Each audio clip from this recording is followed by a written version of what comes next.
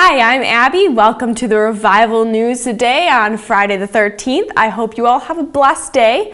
I want to start with some of our updates and reminders. The first reminder is the CLI Student Graduate Rally in the East Coast is coming up very, very soon. So if you have not signed up, please do it ASAP so we can know that you're coming and have accommodations for that. As well, if you are signed up, remember that you can get your awards half off with that code that we have emailed. If you don't have that email code or anything, you can email Rhonda at rsullivan at christianleaders.net. Also, next week, we're going to have another special news episode. As some of you probably saw on the network, and I have the photo with Vanna here, Vanda here, she came and visited, drove all the way up from Kentucky. I was blown away by her, had such an awesome time. So we did a couple of different videos with her. So we're gonna kind of combine the best of all of it and give it to you guys as special news next week.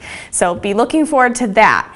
Also, we ordered larger sizes of the apparel, so for those of you that have really wanted apparel and we've been holding off because we weren't sure what we were doing about the size, um, we now are hoping very soon to get it released, hopefully next month. So look forward to that as well. I next want to share with you a video from Erwin. I've been chatting with Erwin for um, almost the whole time I've been working here at CLI, and I have enjoyed getting to see how God has grown him. When we were first talking, he was just studying. Now he started a ministry, an online ministry, which he's going to share about. That last month when I was talking to him had 20 members, and now already this month has 40 members. So over to Erwin's video.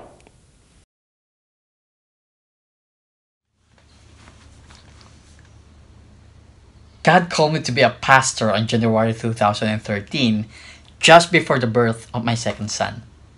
I was clueless on how to go about it. I asked around, but nobody gave me an advice that was useful for me. And then I prayed and asked the Lord for guidance. And it was two years after when my wife and I encountered Christian Leaders Institute online.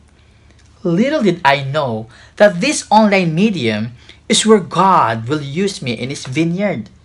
CLI gave me an opportunity to have high quality education and training that helped me develop as a pastor. In fact, it was this year only, year 2017, that I was ordained as a pastor through CLI as well. I was so impressed, also impressed by the lecturers, and I fell in love with the Bible because it brought me near to Jesus. It is such a joy for me to tell you that CLI equipped me to open my own ministry. Patotoo ministry. Patotoo is a Filipino word for testimony.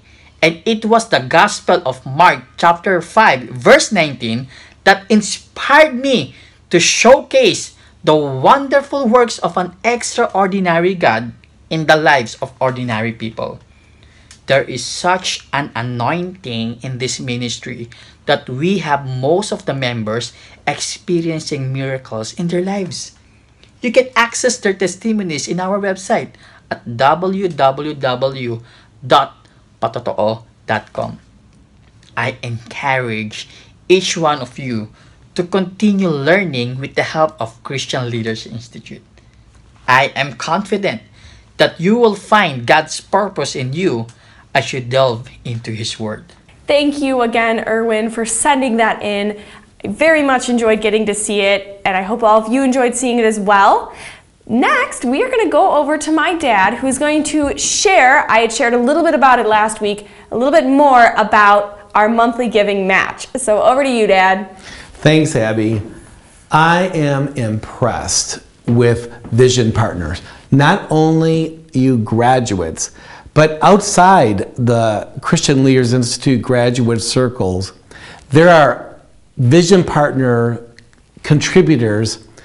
This couple came forward and said, Look, we are so excited that students are making monthly contributions that from now, that would be last week, October 4, all the way to December 15th that if any student makes a monthly gift, we will match that first gift.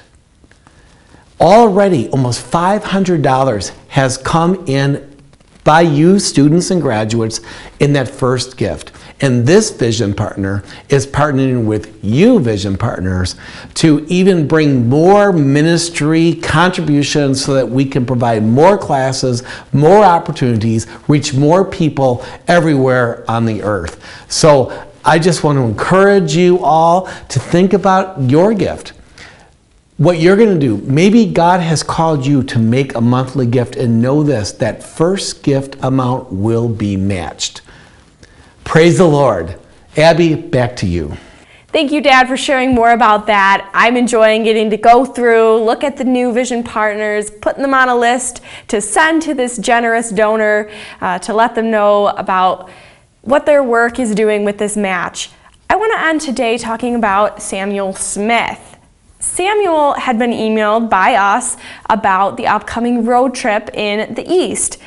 He used to live in that area, and so he responded saying, You know, I, I can't make it. I'm in Uganda planting churches. And I responded like, whoa, wow, I'd love to see some pictures. That's really exciting. Completely understand why you can't make it to our Eastern road trip. Um, you will be missed, but we love getting to see what you are doing in Uganda. So here's a couple of the photos he shared with me, and I want to share with you guys some of the local kids and just the setup of the church looks so quaint and I love seeing that the gospel is being proclaimed there in Uganda and churches are being planted and once again the word of God is going forth.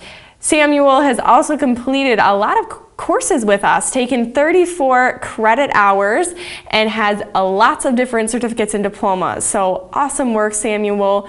Love seeing what you are doing for the kingdom of God. Um, thank you for blessing us today with having your story and photos to share.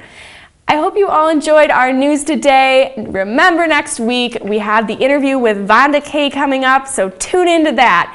I hope you all have a super blessed weekend now.